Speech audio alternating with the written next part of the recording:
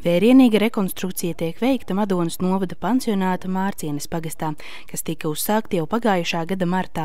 Mārcienes pansionāta projekta vadītāja Indra Kārkliņa atzīst, ka sarunas par to, ka ir nepieciešams jauns pansionāts, tika veiktas jau 2014. gadā, lai pēc iespējas lielākam skaitam gribētāju no visa Madonas novada tiktu nodrošināta vieta pansionātā. No 10. līdz 12. gadam Madonas slimnīcā gāja lielais RF projekts, kur ietvaros tātad tika rekonstruēti lielākā daļa slimnīca slimnīcas nodaļās tika veikti kosmētisko remontu un tā tālāk.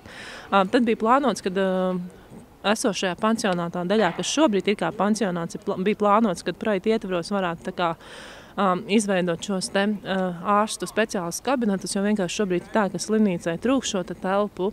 Un šis arī īstenībā ir viens no iemesliem, kāpēc ir nolemts par to, ka uh, Madonas pansionāts pārnāk uz mārcienu. Pansionātam tika iegūts finansējums ņemot aizņēmumu valsts kasē. Jo šobrīd, uz šo brīdi, tā, kad tika plānots tas pansionāts, lielie Eiropas struktūra fondi neko nepiedāvāja konkrēti uz šādu uh, ēkas tipu uh, projektus. Līdz ar to pašvaldība nolēma ņemt tātad valsts kasē aizņēmumu, lai šo pansionātu varētu izveidot. Vissvarīgākais darbs pansionāta rekonstrukcijas laikā ir uzticēts būvnieku komandai, kas ar pilnu atbildības sajūtu ir gatavi rekonstruēt pansionātu kā ļoti mājīgu un ērtu tā topošajiem iemītniekiem. Veicies kā jau rekonstrukcijā dažādi, bija visādāks ne, neparedzēti darbi, kas atklājās demontējot. Darbiem ir tā, ka ir beigām trešais stāvs jau tīram, eh, otrais stāvs arī jau ir tāda, jau, jau īstenībā pirmā stāvā palikusi astīta. Ir tādas arī tādas. Nu, Beigsim. Būs smags, beigās būs smags. Tādā kā ēkā mēs iegājām šeit, eh, nu, tad viņa bija ļoti briesmīga. Tagad viņa ir pavisam cita ēka. Mārcienas pansionāta vadītāja Dace Zela uzsver, ka šis ir veiksmīgs projekts, jo ir bijusi laba sadarbība gan ar pašvaldību, gan būvniekiem, kas ļauj rekonstrukcijai noritēt veiksmīgi.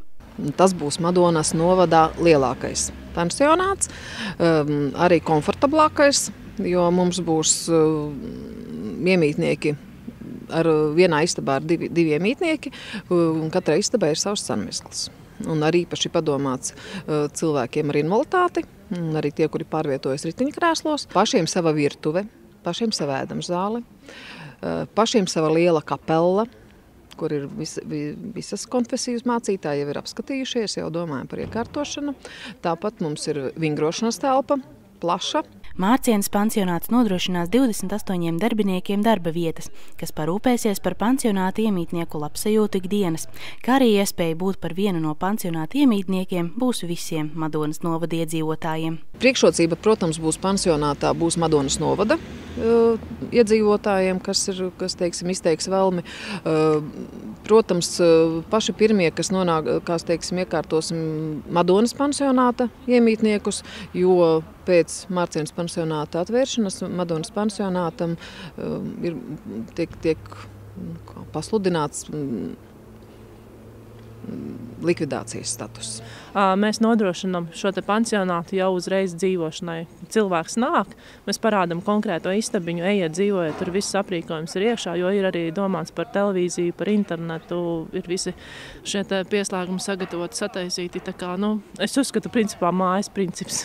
Mārcienes pansionāts tiks atklāts jau rudenī, kas būs priecīgs notikums visiem tiem, kas iesaistījās pansionāta rekonstrukcijas procesos, gan arī tiem, kas drīz sauks Mārcienes pansionātu par savām mājām.